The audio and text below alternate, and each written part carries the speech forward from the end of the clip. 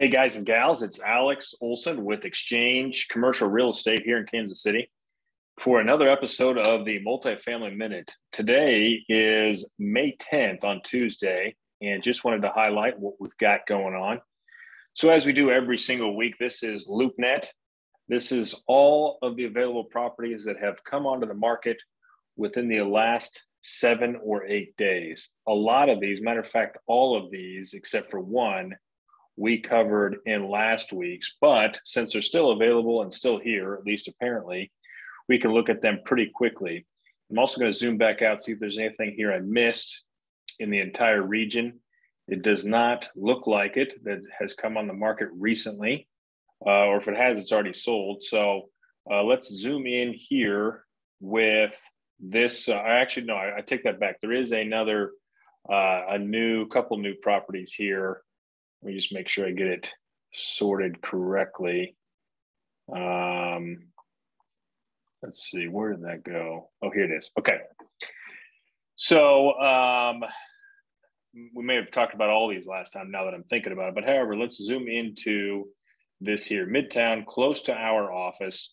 Couple different properties here. This one's on 38th and Penn, Pennsylvania Avenue, close to Westport, just across the street near the streetcar extension, 12 units for 1.8 million.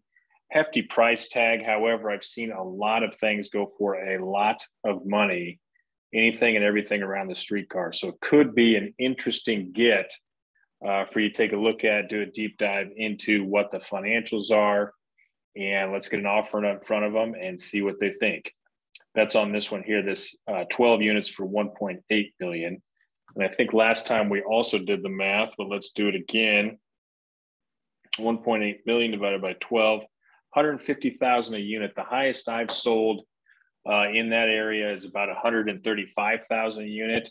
Um, I've got one off market direct to seller for less than 140,000 unit completely fully renovated and stabilized with excellent rents. So that's something to consider when you're looking at that property and, and really any of these properties. See what I might have that's going to be similar on market. This one here is a new one. Uh, it's a five five plex on Washington Street. I myself has a, have a five plex here on the other side of Main. Uh, this is probably in, I don't know about the same kind of location. Mine's next to the streetcar. Uh, this one here is, I think, fully stabilized. Probably has some high rents on there. Probably has some Airbnb properties. 775. Um, that is also, let's see here, once, uh, see, 575 divided by five, it's 100 and, no, 775 divided by five, that's 155,000 units. So similar price per unit. I think that's what you'll see the trend here is anything on this Main Street corridor is going to continue to creep up to the $200,000 per unit range, especially on these smaller properties, call it less than 20 units or so, less than 30 units. Uh, zoom back out. So that's Midtown, close to where I'm at right now. Sitting, again, everything here the last seven, eight days on the market this one here is uh, a series of, I think it's single family homes. There might be a duplex in here for 1.6 million. Uh, let's click on it and see how many 12 units. Okay. So a lot of houses, maybe, or a couple houses, duplexes. Could be a very interesting portfolio. Gorgeous renovation looks like. Um, depending on the rents that these have, this could be an, an interesting fit for anybody that is looking to get a quality asset in a class A market. Don't want to spend too much time on that because we don't deal a lot with single family homes or portfolios. However, we do have this other one that just hit the market 54 units, North Park Apartments off of Russell Road. I believe this was an unpriced uh, apartment complex just north of North Kansas City uh, in Avondale. Matter of fact, we had a couple of properties that are kind of in this range that are pseudo off market, meaning they're not quite ready to, sellers not quite ready to sell. Uh, however, this 54 units, my guess is call for offers here um, will be coming up quick. Let's see. don't see anything there. Uh, however, it does have some three twos, which is nice. Anyway, um, be interesting. We'll keep an eye on that one to see what what comes of it. Excellent submarket location. Looks like some pretty nice units. Uh, roofs aren't completely black. That means that they're not at least 100 years old. Uh, it's even got a clubhouse here. So, depending on the price, could be an interesting uh, property here.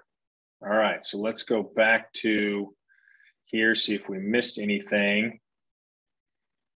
All right, we didn't miss anything.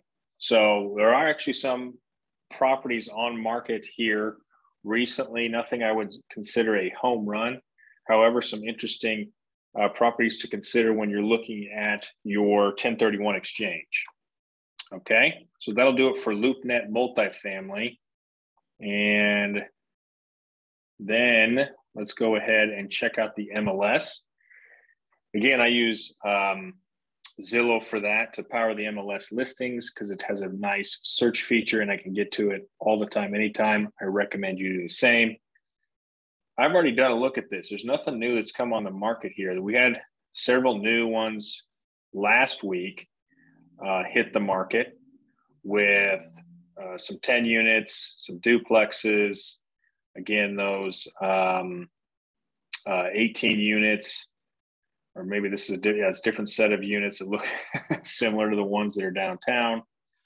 Uh, so we've seen all these in the past, so nothing major new. This is a fourplex for 550 in North Kansas City. Um, let's make sure this is only showing that's available. Okay, good. So um, interesting opportunities out there, but nothing new this week. This is new construction uh, and not something I could really get behind unless you were very high on new construction. We can take a look at it together. Okay, so since we don't really have too much new to look at here, I do think that there are a couple deals. This is an interesting fourplex uh, for 550. Uh, this right here is an interesting set of multifamily properties. This is an interesting, looks like a very large duplex, a good uh, set of properties over here on Robinson and Lowell. Um, and then we get into some stuff that's been sitting out there for a while that I don't think has too much value. This I know is under contract. This is Parkway Gardens off of Paseo. So make note of that. Uh, so anyway, I think we'll see some of these other ones go under contract here shortly if they aren't already. Um, you know, because I, I know many of the brokers there, and and uh, if you want to reach out to me, we can talk more about those and see where we go from here. Okay, so now let's go to with with nothing zoo on Zillow this week. Let's go back to what we have off market. This is Google Earth, and we have a direct to seller. We don't usually do this, but um, we have a direct to seller listing.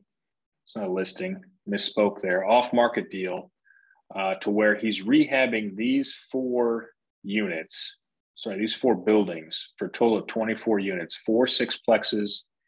You can see that it is a gorgeous location. Look at all those parks, uh, development all around. This is Gillham Road or Boulevard here that goes up and down the city. Beautiful drive, large parks here and here. This is the old Westport High School. May have heard of Westport. This is the high school that they are currently, as of this moment, redeveloping into multifamily.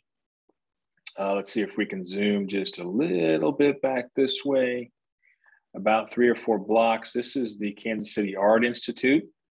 Okay, so a lot of students will go there. Uh, Kemper Museum of Art is right here. This is a lot of American Century uh, buildings. And then, of course, the plaza is not too far over. So sorry, this is not quite north to south, but I wanted to pause it here so you can see all this green space and how close it is to um, everything else. So let's zoom in a little bit on this here. And I have a drone video of this and I have 3D tours of this property. Uh, and if you look here, plenty of off-street parking, uh, plenty of on-street parking. We also have all central heating and cooling, beautiful, gorgeous renovations. Again, cheaper than what you're going to see on the market right now in Midtown and with exceptional rent. So this is going to be a good buy for somebody on a 1031 exchange that wants a solid, appreciating, cash flowing asset for the right price at the right time.